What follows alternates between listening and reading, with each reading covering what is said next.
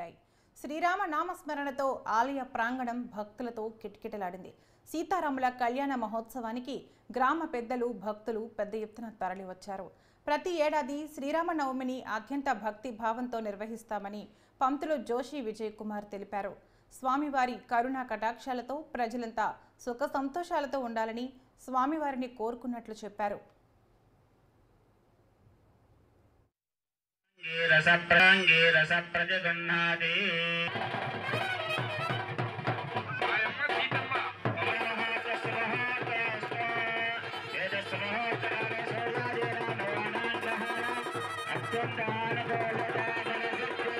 కళ్యాణార్థమై మనం భగవంతుని ఇక్కడ ఆరాధిస్తున్నాం కాబట్టి మనం ప్రతిజ్ఞ చేయాల్సింది ఇక్కడ.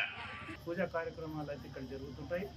ఆ తర్వాత గత వైఎస్ రాజశేఖర రెడ్డి గారి ముఖ్యమంత్రిగా ఉన్నప్పుడు ధూపదీప నైవేద్య పథకం అని ఒక పురాతనమైనటువంటి దేవాలయాలకు ఏర్ప అర్చకులుగా ఏర్పాటు చేయడం జరిగింది. అందులో నేను సెలెక్ట్ కావడం జరిగింది. అప్పటి నుంచి సుమారు పదిహేను సంవత్సరాల నుంచి కూడా నేను ధూపదీప నైవేద్య పథకం పూజారిగా అర్చకునిగా ఈ దేవాలయంలో పనిచేస్తున్నా. మరి ఈ యొక్క దేవాలయం యొక్క పూజా కార్యక్రమం ప్రతి సంవత్సరం మాఘశుద్ధ దశమి రోజు ఈ యొక్క దేవాలయం ప్రతిష్ట కార్యక్రమము ఘనంగా నిర్వహించడం జరుగుతుంది. ముఖ్యమైనటువంటి కార్యక్రమం అంటే ఆ తర్వాత వినాయక చవితి.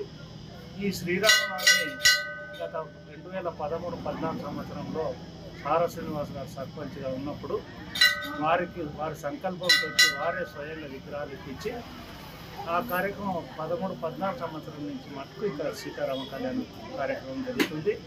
ప్రతి సంవత్సరం అంచెలంచెలుగా ఒక సంవత్సరం కన్నా ఒక సంవత్సరం ఘనంగా మా యొక్క గ్రామ ప్రజల సహాయ సహకారాలతో గ్రామ